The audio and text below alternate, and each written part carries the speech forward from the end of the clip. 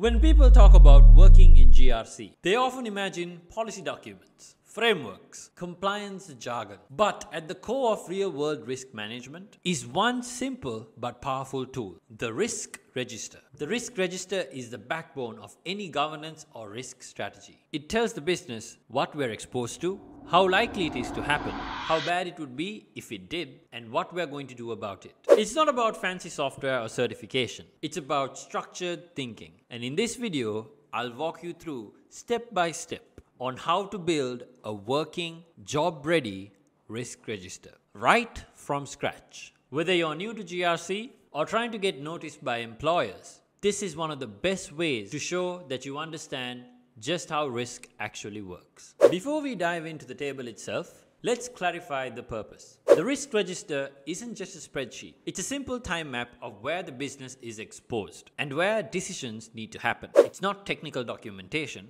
It's a communication tool between GRC, cybersecurity, operations, and leadership. Think of it like this. Imagine a ship sailing across the ocean. The risk register is the radar. It spots icebergs in advance. It doesn't stop them from existing, but it helps the captain avoid it before it's too late. Your job as a future GRC pro isn't just to identify risk, it's to help the organization see it clearly, prioritize it, and respond intelligently. That is what this tool is for. So, let's build your first risk register. You can use Excel, Google Sheets, Notion, anything that lets you create a table with headers. These are the core column. ID. Give each risk a unique identifier. Start with R-001. R-002 and so on. Second column is risk description. Be specific. Don't write data loss.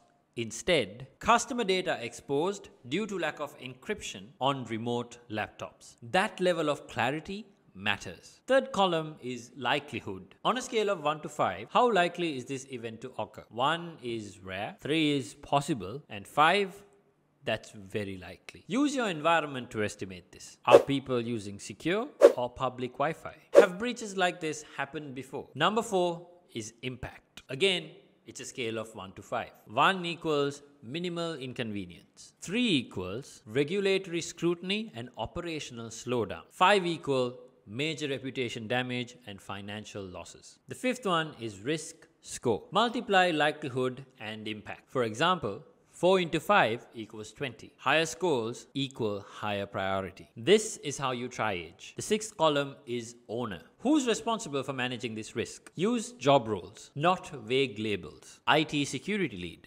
not tech team. Seventh column, mitigation status. Track progress. Use terms like not started, in progress, resolved, accepted risk, residual risk only. These seven fields give you a full picture view. The what, the how bad, the who, and the now what. Let's walk through two entries you can build today. Entry 1 ID 001 Risk Laptop theft results in sensitive client data exposure. Likelihood a 4. Impact a 5. Score 20. Owner IT security lead. Status in progress. Data encryption rollout underway. Entry number 2 ID R-002 Risk Third party SaaS vendor lacks updated SOC2 audit. Likelihood a 3. Impact a 4. Score 12. Owner GRC analyst. Status not started. Due diligence begins next week. Notice how each risk is a real scenario, not a generic label. It's written in business relevant language. This matters, especially when leadership needs to make a decision. Once you've got 5 to 10 risks logged, you can improve visibility in a few steps. Add a last updated column. This keeps it dynamic not static.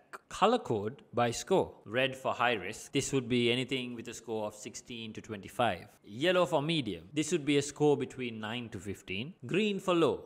This would be a score of 1 to 8. Use filters or views. Show only high risk items or only those without owners. Add a next review date. Risk management isn't one and done. Set monthly or quarterly reviews. The point is to keep it clean, clear, and decision ready. Anyone should be able to look at your risk register and immediately see what matters the most. Here's the kicker. Building a register like this, even on your own, with mock scenarios, can set you apart in interviews. When hiring managers ask, What's your experience with risk assessment? you can pull up your risk register and walk them through it. You're not saying you just know GRC, you're proving it with structured logic and clear communication. It shows you understand risk prioritization, you can identify real world exposures, you're ready to plug into a GRC team and start contributing from day one. So, to wrap this all up, you don't need to be in a GRC role to think like a risk professional. You don't need a certification to build a tool that companies actually use every day. Start with a spreadsheet, populate it with 5 to 10 real world hypothetical risks, and keep refining it over time. So, if you found this useful,